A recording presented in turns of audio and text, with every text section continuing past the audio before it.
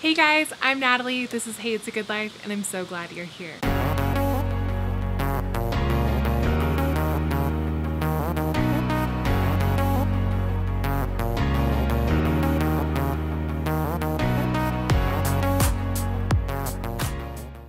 Today is episode 14 of the vlog. I've got a couple things I'm working on out here today, including I am replacing my cocoa husks, cocoa husk liners in my hanging baskets. I am replacing the cocoa husk liners in my hanging baskets. There we go, I got it. With a more sustainable, more budget-friendly material.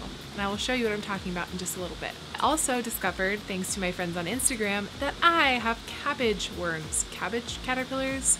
I don't know. Those things that eat the things in the brassicas family, I have them and I need some neem oil solution to get rid of them. So that's also on the agenda for today. I might also go check out the clearance section at Lowe's and see if I can find any flowers for cheap because it is time to get some pollinators in the garden. We have blossoms on our tomato plants and I don't know if there's any pollinators visiting. So we need to make sure that we're inviting those pollinators into the garden and getting that permaculture ecosystem going. So that's what's up for today.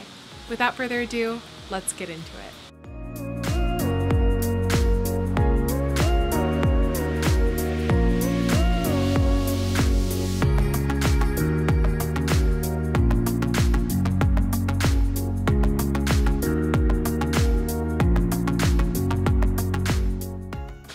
Okay, so I found a seed package that I actually haven't opened yet, and it is called Flower Mix Hummingbird Heaven by Botanical Interests. I just love their packages, they're so beautiful.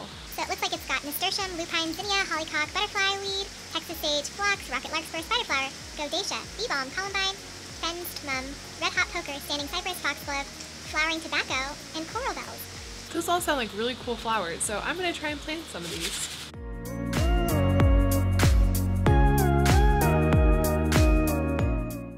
Like to get the soil wet before I plant the seeds because otherwise sometimes the seeds pop out and go all over the place so this makes sowing a little bit more accurate.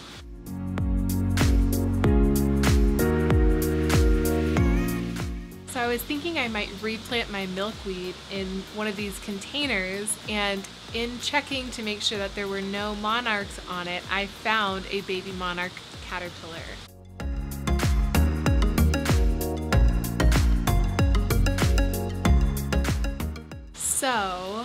Going to do instead is figure out a way I can protect this plant so that no predators get to this little guy because I would love to see him grow and hatch into a butterfly.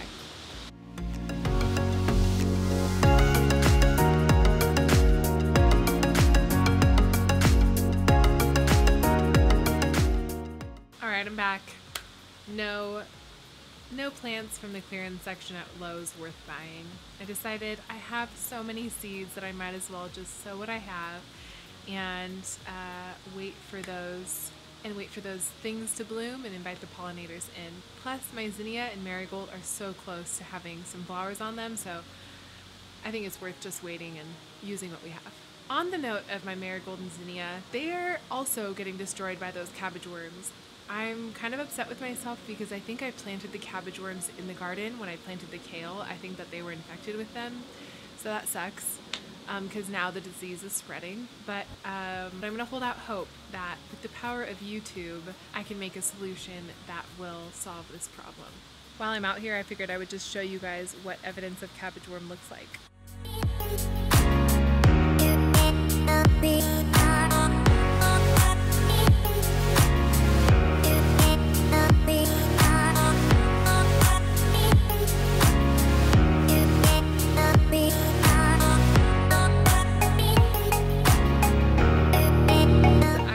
First go around with cabbage worms, so it's a good learning lesson, as frustrating as it is. Definitely go with your instinct if you think that something that you purchased as a tiny plant uh, has been infected with something, don't plant it. Don't plant it. I shouldn't have planted the kale because I thought, mm, I don't know about this kale, but I planted it anyway, and here we are, so.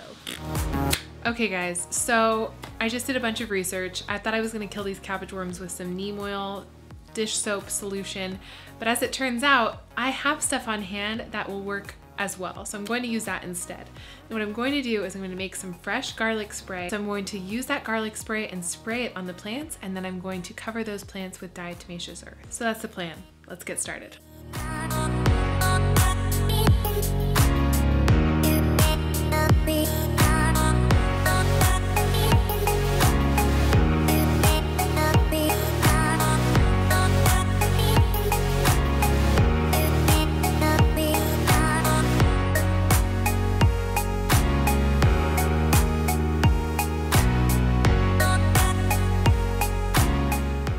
Alright guys, well that is it for me today. We accomplished quite a bit today, so I'm going to call it a wraps.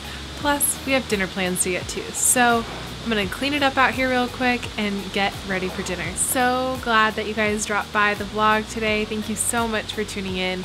And um, if you like this video, give it a thumbs up. And if you want more like this from me, be sure to subscribe. Thanks so much, you guys, and I'll see you next time.